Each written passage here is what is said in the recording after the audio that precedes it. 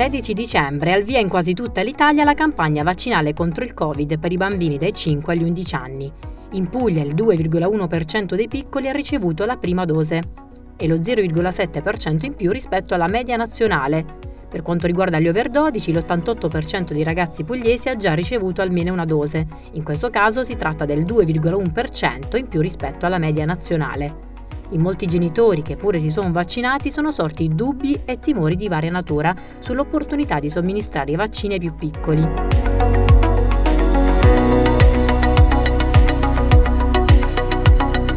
Ecco il parere di chi non ha avuto alcuna remora nel vaccinare i propri figli. Favorevole a vaccinare i miei figli per evitare il contagio e ridurre i rischi da Covid.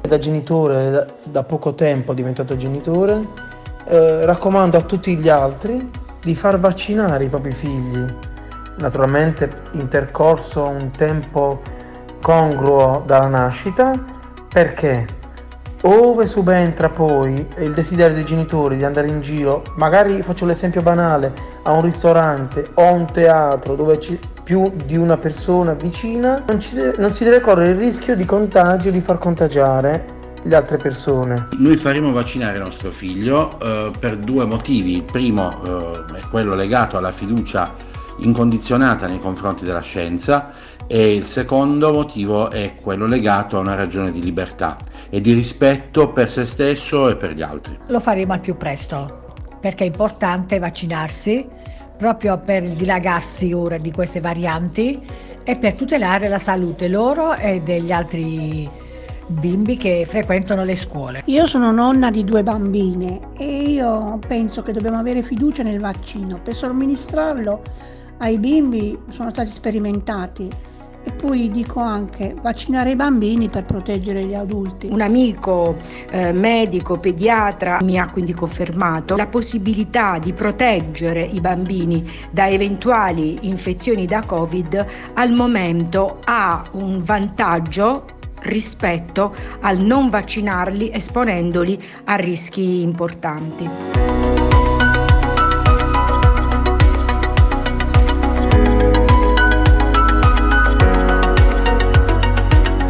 Tuttavia, non manca chi è preoccupato dalla vaccinazione dei più piccoli. A far paura sono le paventate conseguenze cliniche a medio e lungo termine. Abbiamo due bambini, uno di 7 anni e una di 5 anni. Abbiamo scelto di vaccinarli nonostante la paura perché ci sembra la scelta più giusta e più responsabile in questo momento. Io sono a favore dei vaccini in generale, per quello contro il Covid, eh, secondo me per i bambini è meglio aspettare prima un altro po' di tempo e eh, vaccinare prima tutti gli anziani e gli adulti e poi a seguire i bambini eventualmente. Come genitori siamo in una fase di discernimento, ma la nostra intenzione è quella di seguire la linea che abbiamo seguito finora, che è quella di fidarci della scienza, fidarci dei medici, dei pediatri. Insomma, per alcuni genitori non è chiaro come reagiranno i loro figli alla vaccinazione, ma abbiamo chiesto lumi al pediatra Leonardo Clarizio e il medico rassicura. Dubbi e timori dei genitori sono più che legittimi, anche io sono genitore, anche se i miei figli non sono più piccolissimi. Eh, però eh, vi garantisco che quando i genitori ci chiamano perché hanno saputo che i loro figli hanno avuto un contatto stretto con un soggetto positivo e i timori in quel caso salgono alle stelle. E chissà perché a questo tipo di timore nessuno dà eco. Cioè noi siamo sottoposti da un anno e passa a un bombardamento di telefonate con le paure dei genitori perché i loro figli hanno contattato qualcuno positivo e di questo però non si preoccupa nessuno. Direi che ci vorrebbe un po' più di equilibrio nel considerare i timori di tutti. Sentiamo ora le ragioni della contrarietà di alcuni genitori alla vaccinazione dei figli e le rispettive motivazioni. A rispondere ad ogni perplessità sarà direttamente l'esperto.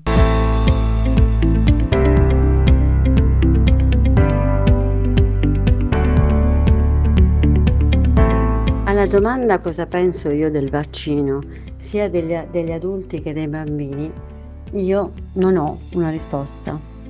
La vorrei questa risposta dalla comunità, comunità scientifica in maniera unanime. francamente invece eh, nella, nella, nostra categoria non ricordo in precedenza un orientamento per quel che riguarda misure sanitarie da adottare così omogeneo come quello che stiamo vedendo nei confronti del Covid, no? Se, escludendo ovviamente delle eccezioni che ci saranno sempre, insomma non, non vogliamo nemmeno un consenso eh, come dire bulgaro. Stavolta io vedo che tutte le società scientifiche dei pediatri, sia a livello internazionale che in Italia, raccomandano la vaccinazione anche dei bambini, quindi non vedo io tutto questo dissenso. No, non vaccinerò mia figlia nella maniera più assoluta. Mi fido e mi affido a illustre uomini e donne di scienza come la dottoressa Gismondi, Crisanti, la dottoressa Mari, il dottor Malone, che assolutamente sconsigliano di vaccinare i bambini. È vero che Crisanti aveva espresso un giudizio dubitativo inizialmente perché si era a conoscenza soltanto dei bassi numeri dei bambini arruolati dalla sperimentazione iniziale che aveva coinvolto soltanto poche migliaia di bambini. Però quando abbiamo conosciuto i numeri dei vaccinati in Israele e negli Stati Uniti, questo numero è salito, a qualche milione anche il professor Crisanti mi sembra abbia sdoganato pienamente la vaccinazione dei bambini. Per quanto riguarda invece gli altri, gli altri personaggi, io diciamo, li ritengo eh, non completamente attendibili perché si sono resi autori eh, di, di, determinate, di, di, alcune contraddizioni se non di fake news nel passato, quindi non so eh, fino a che punto possiamo affidarci a loro. Se avessimo un parente, se non un figlio, eh, malauguratamente colpito da una patologia oncologica, noi affideremmo la salute di questo bambino a, a una persona come il professor Locatelli che attualmente eh, presiede l'Istituto Superiore di Sanità, eh, la Commissione Superiore di Sanità, oppure lo affideremmo a uno di questi nomi che lei ha nominato. E allora se il professor Locatelli adesso consiglia la vaccinazione a tutti, bambini compresi, perché devono sorgere tanti sospetti?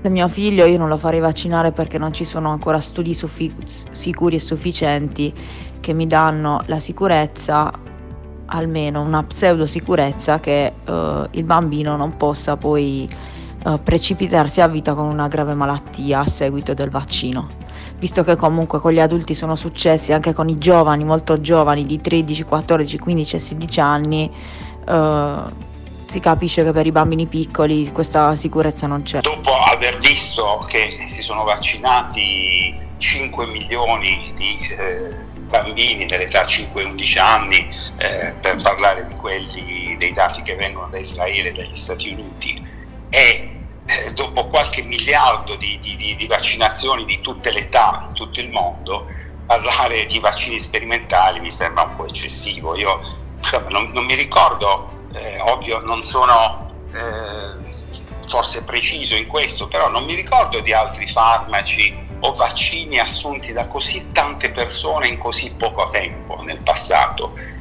Quindi insomma io direi che la sperimentazione è ampiamente avviata e insomma non, non, non, mi sembra che siano ancora da definire in fase sperimentale se dopo tutti questi vaccinati si siano registrate eh, così pochi effetti collaterali insomma. Io da neomamma direi mh, mm, gli adulti sì, i ragazzi sì, i bambini no. Nel passato è successo che si è avuta notizia di un caso di un bambino eh, morto per meningite e in quel caso si, si è scatenata una bagarre di, di, corsa verso la vaccinazione. E, e adesso perché dobbiamo minimizzare eh, questi pochi casi di decessi per Covid?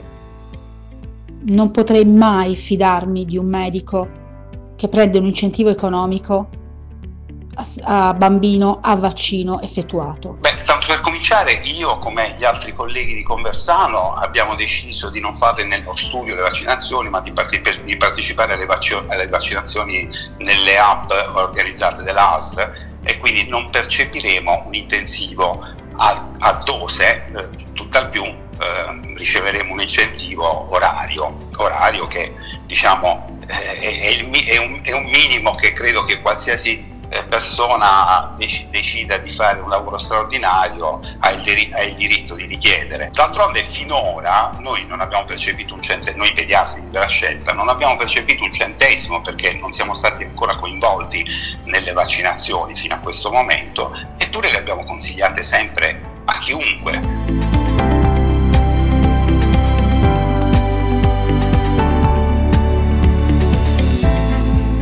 Qualche giorno fa diceva lo stesso ministro della salute Speranza che quello dei vaccini non è un tema eh, da social network, quindi come si può convincere gli scettici? Quali argomentazione proporre loro per far sì che si affidino alla scienza, quindi in questo caso ai pediatri? Con i dati a disposizione ci dicono che se un bambino non si vaccina avrà sicuramente una probabilità più bassa rispetto all'adulto, ma reale, di avere dei sintomi gravi se viene contagiato dal virus. Questo se non soffre di patologie croniche, nel qual caso invece il rischio è notevolmente maggiore. Se invece si vaccina, quindi sull'altro piatto della bilancia, il bambino avrà una probabilità dell'ordine di 3 su 100 di avere qualche sintomo lieve, tipo il dolore locale nel punto di inoculazione o la febbre per uno o due giorni e di uno o due casi su 100.000 vaccinati di avere un effetto collaterale di maggiore entità che però è del tutto curabile. Mi riferisco ai casi di miocardite che sono stati denunciati. Vaccinare i più piccoli quanto è utile contro le varianti, specialmente in queste settimane che si sente parlare tanto di variante Omicron? Vaccinare i più piccoli è, è utile quanto è utile vaccinare i più grandi, nel senso che è, è la eh, diffusione del contagio a determinare la comparsa delle varianti. Più contagi ci sono, maggiore la circolazione del virus, più probabile è la comparsa, è la comparsa di nuove varianti in questa fase quanto è importante mantenere un rapporto con il proprio pediatra? Diciamo che i, i pazienti vi potrebbero rispondere ancora meglio, cioè se voi gli chiedeste se non avesse in questo momento il pediatra di libera scelta a cui far riferimento per tutto quello che serve alla salute dei bambini, eh, che, cosa, che, cosa, fareste? Io credo che eh, il disagio aumenterebbe fortemente in queste famiglie. Dottor Clarizio, c'è qualcosa che non abbiamo avuto modo di dire durante questa intervista e che avrebbe particolarmente piacere di comunicare ai nostri ascoltatori? Direi che in questo momento non vedo alternative al vaccino per far sì che, che i bambini non perdano altri mesi di scuola. Hanno già avuto un danno notevole fino ad adesso e quindi non rinuncino ad avere una vita, una vita sociale che, crei i presupposti uno, per uno sviluppo psicofisico normale. Poi se accanto a questo eh, riusciamo anche ad evitare che qualcuno finisca in ospedale o, o peggio, tanto di guadagnato. Io mi vaccinerei perché mi sento più al sicuro e poi io non è che porto il virus a tutti, ai miei nonni e alle persone che tengo più a cuore. Io preferisco farmelo il vaccino. Sono contento di fare il vaccino perché così quando andrò a scuola potrò togliermi la mascherina per giocare con i miei amici.